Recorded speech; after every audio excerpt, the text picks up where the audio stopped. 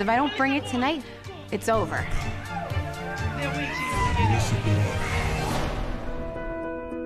I want this music career so bad, and you know, I gotta look good if I'm gonna stay on a stage. Come on. I'm so scared a boob would come out.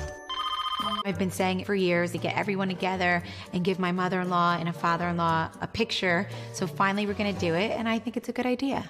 Try this, Mama. Oh, they are good. I'll be back, okay? Thanks.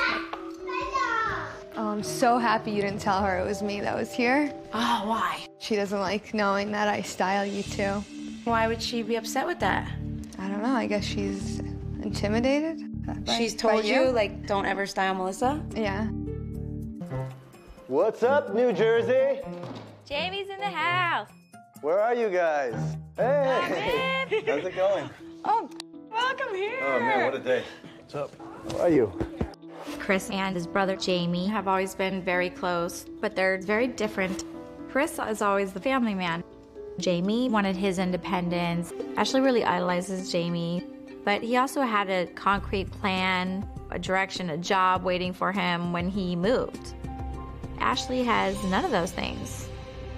She's being extremely lazy and she's crying about it. You know what I mean? That's it. You know what? I believe in Ashley. I know, and don't take this the wrong way, she comes off like a bitch a lot of times. Ashley's smarter than all of us. She knows how to work her mother. She knows how to work her extended family. But one day Ashley's gonna wake up and everybody's gonna be gone. Then what's gonna happen? I'm Linda, the photographer. Five minutes. So my eyes are can see nothing. Baba, look, they're pretty ladies for you. I know how you like to look at pretty ladies.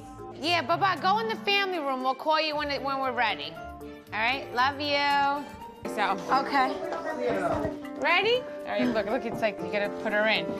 Do you want to put your pretty dress All right, go, Audriana. Okay. Yay! Okay.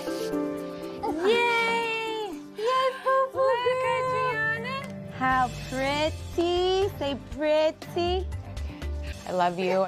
I love my brother. I love your, you know, my nieces and nephew. We love you too. And I want us to be a family, you know? Of course. Whatever her motives are, I feel loyalty to Teresa. I just want it to stay this way.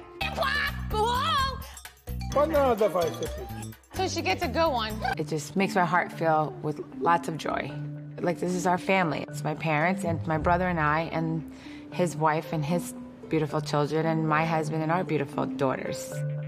You know, seeing all my friends and family getting along makes me feel, I have to say, a little bit complete. You think we got it? Okay, yay! Potatoes and eggs. No, Greg, we asked you to move in so you do like this, and you don't. I was at Jacqueline's, and Teresa's cookbook came in. And I was all excited to read it, because obviously I'm happy for Teresa. And in the very opening of it, it instantly says something negative about you. Girls in this family and books. it's always a book. Always a book. It all Always a starts with a book. Book. This damn family. It starts off, it says Caroline deep fried her meatballs. Deep fried? Who does that? Does she serve fried Twinkies for dessert? You could deep fry a sock and it would taste better than a baked meatball. I see you got Teresa's cookbook. I can't believe the asshole didn't put a picture of us in here. She mentions that she wishes that her cousin would stop making lame jokes about her. What? You mean so you it's don't either make- you or me or You- you don't Rosie. I don't think about her. Rosie's doing anything like that, but whatever. Okay. I need to be worried about, you know, what's going on with them. Where should I put it? Stop. She wrote something about me in her cookbook. In her new cookbook, not the old one, the new one that just came out. What, what, what did she write? My baby sister in law copies off of everything I do, from the shoes that I wear to the chairs on my front porch. We have like random shots. oh my God, that is beautiful.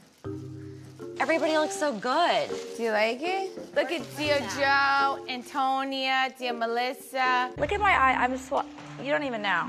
Why? What's what's what's going on? You seem a little off. Yeah, I am. Why? Ashley again? You know what? I feel like I haven't be, like been the greatest friend for you?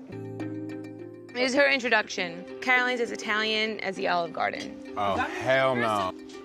Well, what's bizarre is I was with her the other day at Jacqueline's. Mm-hmm. She never mentioned What she said about what you. she said about me. It finishes. However, I, I am a huge fan of Caroline Manzo, even if she's only 1/16th Italian or whatever she is. And then, There's more. Christopher, I hate to say it, but you're involved. This is a family cookbook. I do not condone young girls stripping to bring business into a car wash. Were you upset with Caroline when you were writing this book? No, why? It seemed like you were bashing her a little bit. What part? Uh, you said she was 116th Italian. But hello. That's like joke, ha ha. The biggest problem I have about this cookbook is what she said about Christopher. There's no reasonable excuse or explanation as to why she would do that. First of all, what, what does it have to do with the cookbook at all? But there's no legitimate reason why she would take a shot at my son. Not my kids. Sometimes when you're loyal to a person at the bottom, they change when they get closer to the top. I'm glad that I see this in black and white because now I know what I'm dealing with.